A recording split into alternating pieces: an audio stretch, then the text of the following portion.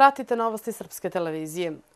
Skupštini Crne Gore treba brz i efikasan rad, ali ne na uštrb kvaliteta zakona i drugih akata koji bi trebalo da budu usvojeni, poručuje predsjednik parlamenta Darko Pajović. Komentarišući činjenicu da je u skupštinskoj proceduri 197 dokumenta, zakona, propisa i izvještaja, Pajović je ocijenio da posljednju godinu, a posebno kada je pokrenuto pitanje povjerenja vladi, parlament nije efikasno obavljao svoju zakonodavnu funkciju.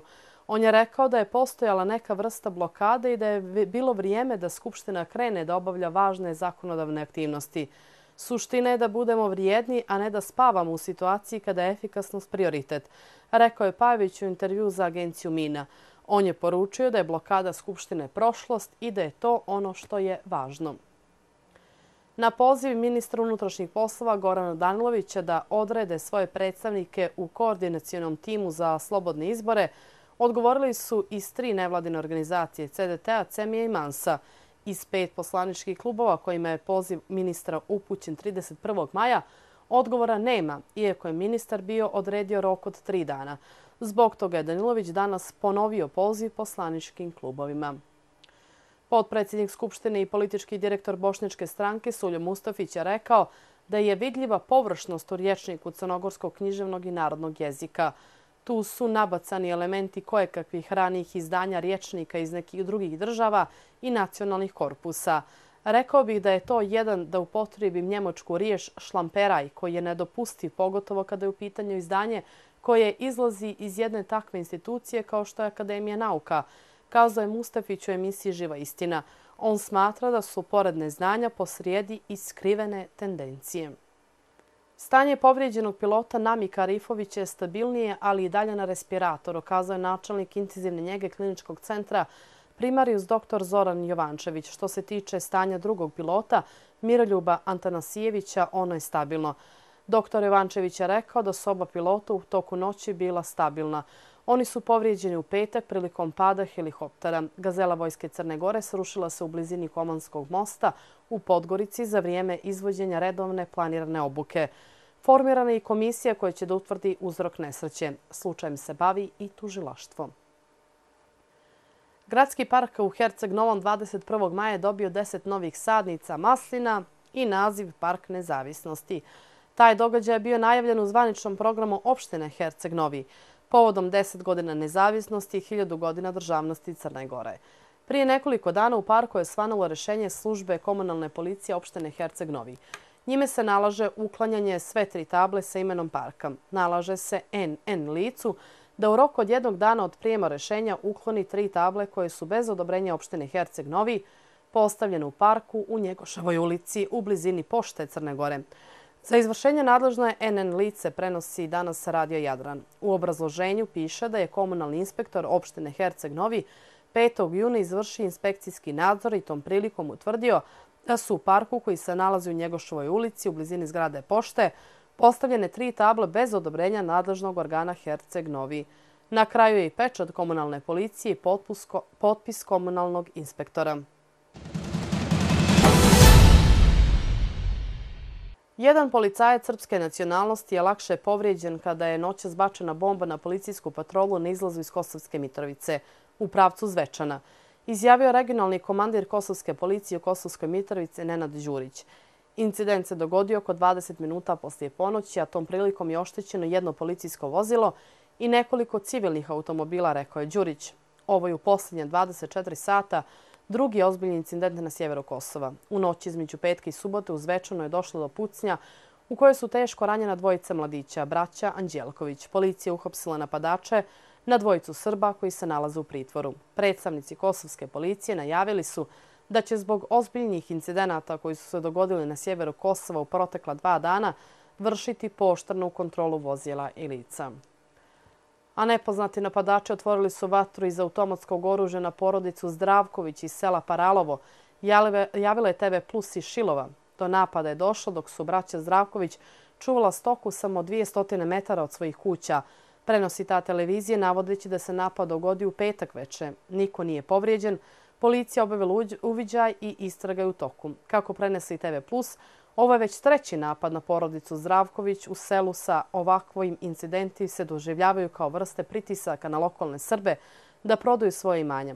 Porodica Zdravković iz sela Paralov u opštini Novo Brdo u svom posjedu ima 37 hektara zemljišta. Ministar za povratak i zajednice u Kosovskoj vladi Dalibor Jeftić je izjavio da je u prvih pet mjeseci ove godine na Kosovo i Metohiju vraćen 101 povratnik i da je u planu da se u ovoj godini izgradi oko 130 kuća za povratnike. Taj broj nam pre svega govori da smo daleko od cilja. Ako znamo da je i dalje broj raseljenih preko 200.000. Taj broj nam također govori da još uvek nema one visine želje za povratkom koje bismo mi želeli da vidimo.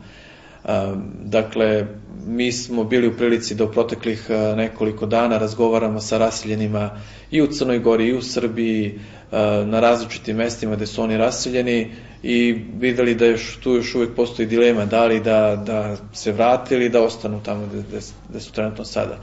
Eh, sa druge strane, ovaj broj nam govori još uvijek da imamo problema u društvu.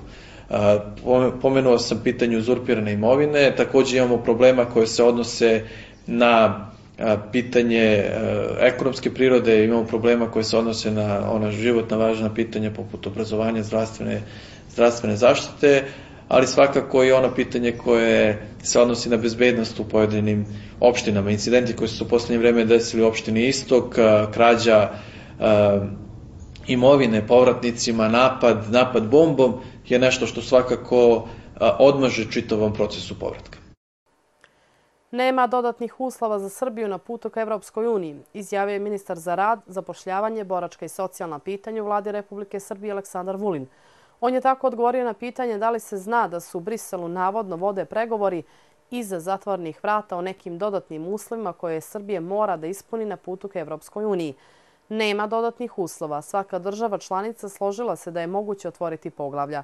Država Srbije radi ono što je dogovoreno, a da li će neka od susjednih država pomoći ili neće, to je njihova stvar, kazao je Vulin.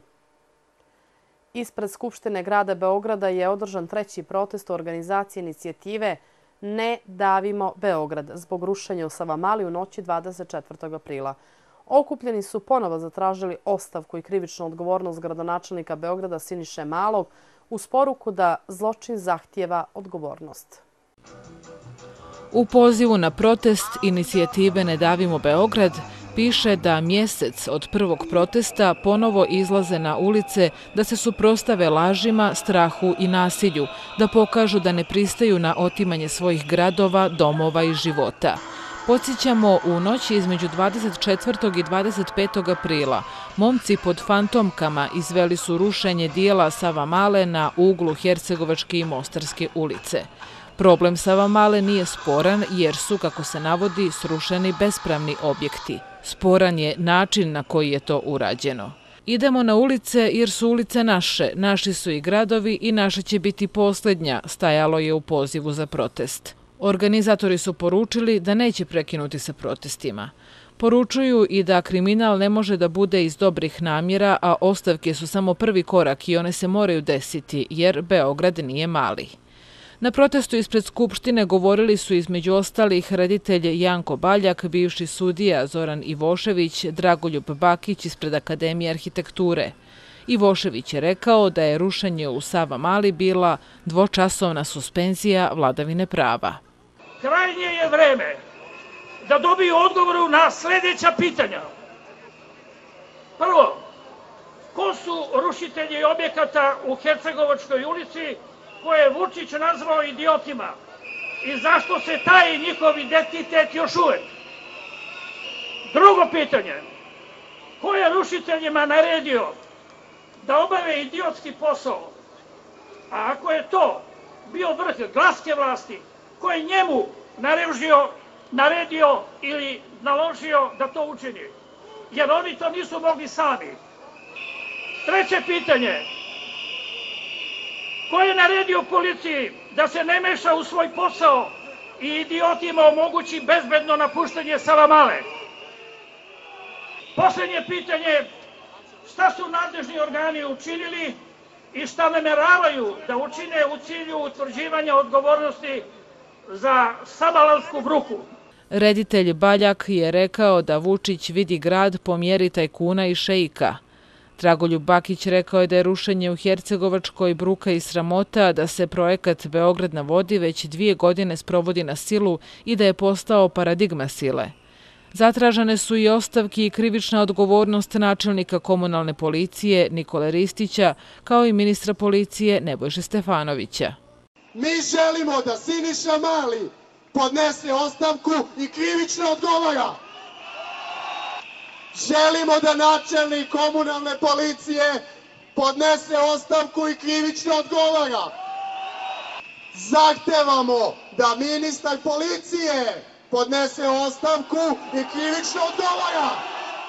Okupljeni su nakon protesta prošetali centralnim gradskim ulicama do zgrade vlade Srbije, jer, kako su poručili, tamo sjede odgovorni i gađali su zgradu vlade rolnama toalet papira. Demonstranti su nosili transparente Ne davimo Beograd, čiji grad, naš grad, maske su pale kada će vlada, ostavka. Na protestu su pored ostalih viđeni i košarkaški trener Dušan Ivković, Dušica Žegarac, Lila Radonjić, Olja Bećković, Danica Vučinić, Zoran Kjesić, Dragoljub Petrović, Đorđe Vukadinović. Protestu su prisustovali i lider nove stranke Zoran Živković, kao i pokreta Dosta je bilo Saša Radulović. Bivši zamjenik šefa Cije za Balkan Steven Mayer kaže da će po njegovom mišljenju Republika Srpska opstati i da misli da su velike šanse da će se granice na Balkanu mijenjati. Majer je u intervju za večernje novosti iznio mišljenje da će se mijenjati i granice na Kosovu, također i u Bosni i Hercegovini i u Makedoniji. Najopasnije mjesto na Balkanu trenutno je Makedonije, ne samo zbog problema makedonskih albanaca i makedonskih pravoslavaca, već i zbog toga što među samim pravoslavcima u Makedoniji postoje nesuglasice, smatra Mejer. Ambasador Rusije u Srbiji Aleksandar Čepurin je rekao da su pokušaj ubacivanja ideja koje šire nesuglasice i slabe vlast preko pseudo-demokratskih struktura na Balkanu opasni i protivpravni. Čepurin je u autorskom tekstu za novosti pod naslovom Lažne demokrate žele slabu vladu istakao da je stanje u regionu krhko. Ruski ambasador navodi da su se već vidjeli rezultati takve politike u Jugoslaviji 90. godina, zatim u Sjevernoj Africi, na Bliskom i Srednjem istoku, u Ukrajini. Međutim, vojničići konfrontacije su još uvijek u stroju i vidimo ih ovdje kako teže da nanesu štetu i Rusiji i Srbiji. U zadnje vrijeme oni sve češće vire iz rovova, ponašajući se bahato kao da su gazde. Dodao Čepurin i naglasio da Rusija čvrsto podržava mir i stabilnost na Balkanu a Ruska federacija danas obilježava svoj dan, prvi veliki državni praznik moderne Rusije. Prije 26 godina, tačnije 12. juna 90. godine, usvojena je deklaracija o državnom suverenitetu Rusije, a kroz tačno godinu dana, 12. juna 1991 održani su i direktni izbori za predsjednika zemlje, prvi u istoriji Rusije. Svoj zvanični naziv Dan Rusije praznik je dobio 2002. godine i slavi se u cijeloj zemlji. Predsjednik Rusije Vladimir Putin smatra da je Dan Rusije, koji se danas obilježava, jedan od najznačajnijih državnih praznika. Govoreći na dodjeli nagrade povodom Dana Rusije, Putin je izjavio da čvrsta građanska pozicija ljudi drži i jača suverenitet Rusije. Naši ljudi podržavaju zemlju, smatraju najboljom na svijetu, žele da živo njoj i rade na njenom procvatu, naveo je Putin. Pucnjava i napad u noćnom klubu u Orlandu može da se tretira kao domaći teroristički incident rekao je lokalni šerif. Napadač je ubijen kao još 20 osoba, saopštila je policija. Policija je također rekla da ispituje da li je napadač djelovao sam. Nakon napada 42 osobe su hospitalizovane, prenosi Reuters. Kako je policija navela, nema indicija da postoji povezanost između ovog napada i ubistva pjevačice Kristine Grimi u Orlandu. Umeđu vremenu FBI je saopštio da je moguće da je napadač imao sklonosti ka islamističkom ekstremizmu, navodi AFP. Policija Orlanda je na Twitteru objavila da je mrtav napadač u gej noćnom klubu Puls u centru tog američkog grada koji je ranije oteo taoce u tom lokalu. U libijskom gradu Sirtu uporištu islamista u kojem se vode žestoke borbe, trojica bombaša samobica islamske države izveli su napad u kojem je pogla najmanje jedna osoba dok je oko desetora ranjeno. Naveli su borci lojalne libijskoj vladi jedinstva koju podržavaju Jedinjene nacije. Ekstremisti islamske države su se zabarikadirali u centru Sirta, prenosi IP. Snage libijske vlade su u srijedu ušle u Sirt i napredovale su brže od očekivanog protiv islamske države. Islamska država je prošle godine zauzela Sirt i pretvorila ga u glavnu bazu za svoje operacije u Sjevernoj Africi, navodi AFP. Islamska država je preuzela odgovornost za dva napada samoubilačka u predgrađu Damaska u kojima je najmanje osam osoba ubijeno, a na desetine ranjeno. Objavila je novinska agencija AMAK koja je povezana sa Islamskom državom.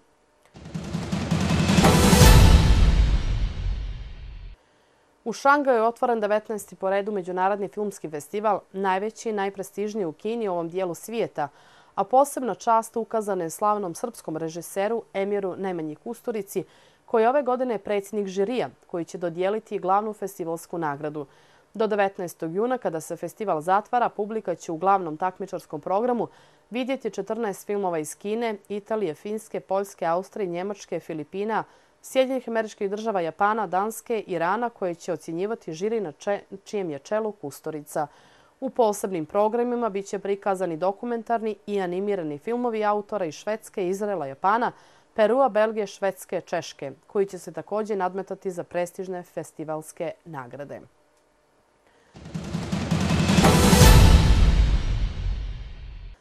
Dejan Zlatičanin je postao prvak svijeta u boksu u lakoj kategoriji prestižne verzije VBC. Crnogorski borac je u meču za poja savladao Frenlina Mamamija iz Bolivije kojeg je nakutirao poslije 54 sekunde borbe u trećoj rundi. Ponosan sam što sam učinio i želim da i ljudi u Crnoj Gori budu ponosni na mene. Ovo je za mene i moj narod istorija. Pozdravljam sve Crnogorce u svijetu, kazao je Dejan nakon borbe. Pred meč Turske i Hrvatske na Evropskom prvenstvu u Francuskoj, turski navijači istakli su sraman transparent sa pitanjem gdje je Marko, aludirajući na tragično nastradalog navijača Crvene zvezde Marka Ivkovića. Turske pristalice su ispred stadiona Park Prinčeva u Parizu istakle transparent sramne sadržine gdje je Marko, jasno aludirajući na Marka Ivkovića, koji je tragično izgubio život u Istanbulu 21. novembra 2014. godine, U Francuskoj od početka Evra 2016. traju neredi navijača, kako na ulicama francuskih gradova, tako i na stadionima. A reprezentacija Rusije igrala neriješeno sa Engleskom u prvom kolu B grupe Evropskog prvenstva u Francuskoj. Utakmicu u Marseju prethodili su trodnevni sukobi navijača Engleske i Rusije, kao i pristalica lokalnih klubova. Englezi su do voćstva stigli u 73. minutu. Sudije su kao prekršaj ocijenile pad Alija na ivici kaznenog prostora. Da izvedu prekid spremali su se Wayne Rooney i Dyer. Kapitan Engleski preskočio je loptu da bi potom Dyer snažno šutirao i postigao gol. Činilo se da će izabranici Roja Hodgsona upisati pobjedu na startu šampionata Starog kontinenta. Ipak, u nadoknadi vremena, tačnije u 92. minutu meča, izjednačenje Rusima donio je Vasilij Berezucki. Poslije centaršuta sa lijeve strane, kapitan je bio najviši u skoku, pa je loptu glavom proslijedio u mrežu Joa Harta. Marse je posljednja tri dana bio pod opsadom ruskih i engleskih navijača, ali i lokalne policije. Sukob u oči utakmice na stadionu Velodrom bio je najžešći do sada. Jedan stariji engleski huligan transportovan je u bolnicu u nesvjesnom stanju. Kako su javili francuski mediji, nesrećni navijač nalazi se u teškom stanju, a u incidentima koji su počeli u popodnenim satima uhapšeno je desetak ruskih i engleskih pristalica. I nakon meča došlo je do sukoba navijača. Rusi su probili obezbeđenje, prešli u dio sa engleskim navijačima i započeli novu tuču. Mediji pišu da su bili isprovocirani. Engleska će u narednom kolu u četvrtak igrati protiv Velsa, dok Ruse očekuje duel sa Slovačkom.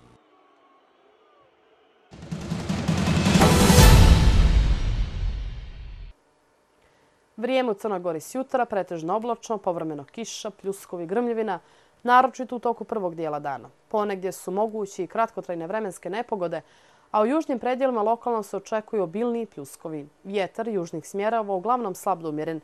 Jutarnja temperatura od 8 do 19, dnevna od 14 do 24 stepena u Podgorici. Pretežno oblačno uz kišu, pljuskovi i grmljevinu, posebno u toku prvog dijela dana. Vjetar slab umjeren južnih smjerava.